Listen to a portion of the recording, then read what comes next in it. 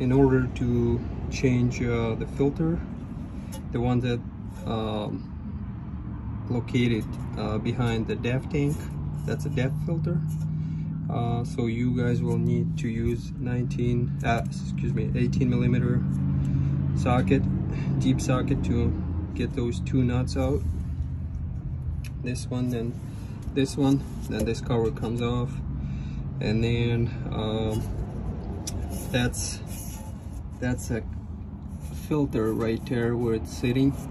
And I don't know what's the size on the bottom uh, but I use it. This tool this tool works re really good to unscrew that cup. And then it also works good for like unscrewing oil filters uh, air dryer filter and all kinds of filters.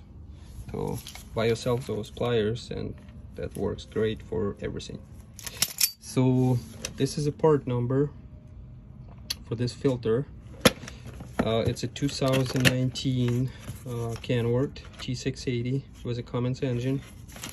So this is what, what you will get. So you will get this rubber cup.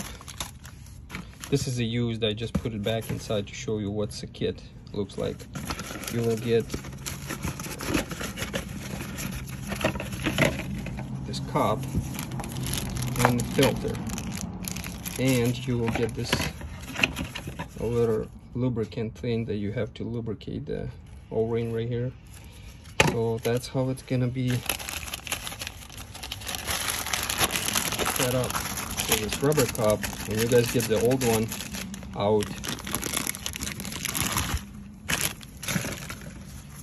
you'll see that it has two cups those rubbers. So one in there and then another one will be sitting there also.